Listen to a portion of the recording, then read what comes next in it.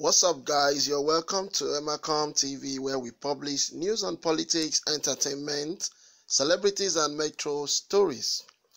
We have another trending news for you today, and the headline reads Nnamdi Kanu makes strong allegation against Vice President Osinbajo.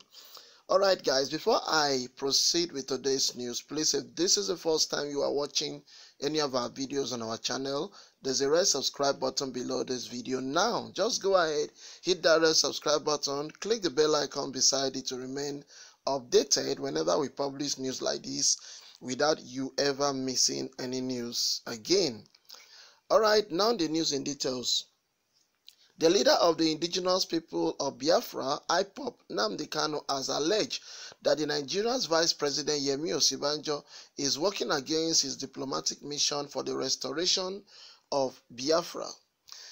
Naija News report that the IPOB leader made this allegation in his recent live broadcast on Radio Biafra.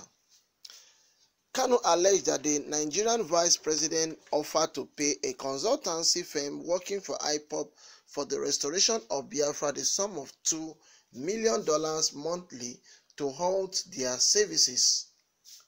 This, Nnamdi Kanu said, happened less than 24 hours after his meeting with some diplomats in Washington, D.C., the United States of America. Naija News recalled that Nnamdi Kanu met some diplomats in the United States where he discussed the actualization for the Republic of Biafra. Speaking on the meeting and what happened after it, Kanu, refused to mention the consultancy firm working for IPOP, accused Osibanjo of trying to induce the firm to dump their contract with IPOP. Kanu said Vice President Yemi Osibanjo moved to bribe consultancy firm working for IPOP for the restoration of Biafra. Yemi Osibanjo promised to pay them $2 million a month to stop working for IPOB, the IPOB leader alleged. Alright, guys, this is uh, what Nnamdi Kanu just uh, said. Um, for those of you who are actually on the know, who know what is actually happening, you discover that IPOB have really gone global. And um, the global, the global stature of IPOB you get is actually giving some people a cause for concern. So Nnamdi Kanu here is alleging that the vice president is one of those or the cabal are actually fronting him or maybe it could be his own personal interest. I don't know maybe to please some individual. So according to Nnamdi Kanu Nnamdi Kanu said Osinbajo offered a particular firm he is working directly with. He said this firm renders services to IPOB in the United States so Nnamdi Kanu said that in the intelligence he got is that Osinbajo was able to infiltrate and know the firm and is paying that firm is, is going to be paying or promised to pay that firm two million dollars for them to dump their contract with Nnamdi Kanu and IPOB. You see, so but the question here is that if this is actually true, you get because Nnamdi Kanu do not just come out to say anything uh, so careless like that. What these guys said always um, has a level of truth. In fact, he has truth. Let me not just say level of truth. You understand me? What Nnamdi Kanu says is truth. For instance, during the election, nobody even anticipated or even knew that Atiku Abubakar, you understand me, is a Cameroonian by birth. We never even knew that. And you know that according to Nigerian constitution, if you are not a Nigerian by birth, you are not a Nigerian. You are not a citizen of Nigeria. But now they cannot stress that Atiku is a citizen by choice. He's a Nigerian citizen by choice, but not by birth. So, but I don't want to go. I don't want to delve into all of that one. But what I'm stating here is that Nnamdi Kanu words should not be uh, just thrown away. So he has come out to allege that Osinbajo is trying to infiltrate to bribe this firm. How was he able, to know? It could be it could be this firm have contacted him and tried to stop their services with him. I don't know. But the problem, the, the issue here is that why are some people um so jittery? You get about this Nnamdi Kanu and about Radio Biafra. This Radio Biafra is not even in Nigeria. It's not hosted in Nigeria. It's hosted in another country. You get so, and it was because of this radio broadcast Nnamdi Kanu was running from Britain that made him to be arrested 2015. And once he came into Nigeria, he was arrested for charges of treason. That was what it was. The same treason that they they they, they level against uh, Oshowore now was what they leveled against Nnamdi Kanu. Nnamdi Kanu was only lucky to actually flee out of Nigeria. Otherwise, what they would have done, they would have killed this guy. You get? They would have killed him because the stringent bail condition they gave to him first was not favorable to him is the is the worst stringent bail condition that have been given to anybody in the history of Nigeria. In fact, I can remember Maina, Maina who stole how many billion? Was it two billion naira and fled the country? Do you know how much uh, bail the bail condition given to him was only two million naira by a judge?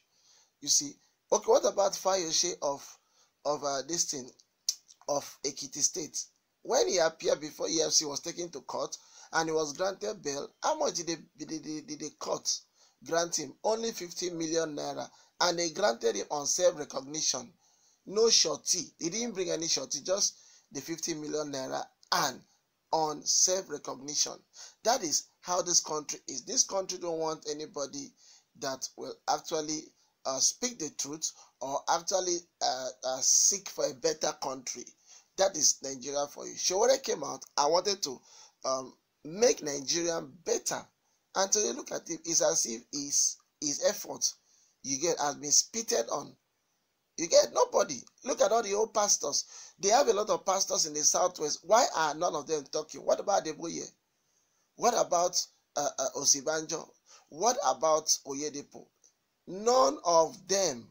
None of them. We have more prominent pastors in Nigeria from southwest more than any other ethnic group in Nigeria. They are more and they are very prominent. Look at the likes of uh, Adeboye. None of them have spoken. But they forget this this Osi, uh, Oshowore is their own child.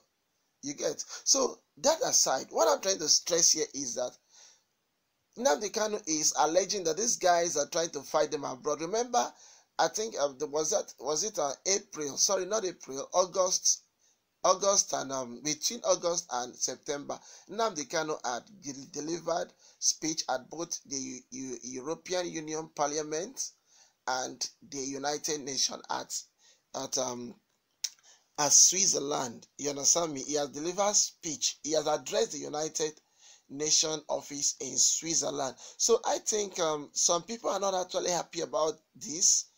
You get uh, the federal government may not be happy about this okay and so so they they may be that they may go extra mile to try to shut down Nnamdi Kanu from abroad and they may want to use the instrument of money you know this country has more money than than any other country you get to just use carelessly that is why you see if Atoli's allegation is true that's why you see the vice president can easily dole out 2 million naira i mean to just for a particular firm to shut down IPOP radio station, forgetting that if a particular firm shut down, you can go to another firm again.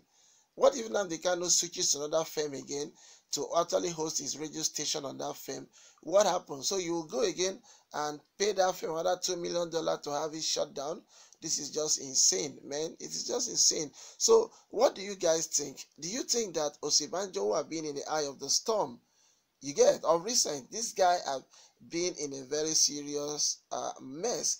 Do you think that he could be lobbying to shut down IPOB abroad? Because you see, this radio station, it is this IPOB radio station that Nnamdi Kanu use to unite the entire IPOB world together. That is the only radio station it does, and I think it is the same radio station that the federal government wanted to host for uh, the Fulani headsmen. He wanted to actually set it up for them. You get so people actually protested and said, uh, uh, "Why did you want to set up a radio station for these uh, people?" Meanwhile, other ethnic group are there. Why favor only one ethnic group than the other? You know why? Because there is power in communication. There is a power in ability to reach out to millions of people, and you know that IPOB in diaspora according to estimation, they are up to 9 million members. You get that's why they refer to themselves as one family. You get the IPOB family is the big family. So IPOB in diaspora is 9 million. I don't even talk of IPOB within Nigeria. IPOB within Nigeria could be more than could be more than up to even uh, uh, 40 million. They could be more than 40 million. You get so uh, that is that. So I don't know what you guys think about it. Do you think this allegation against um, Osinbajo is actually true, especially seeing that he has just been in the eye of the storm of recently? What do you guys think about this? I want to drop your comment below. Let me know what you think.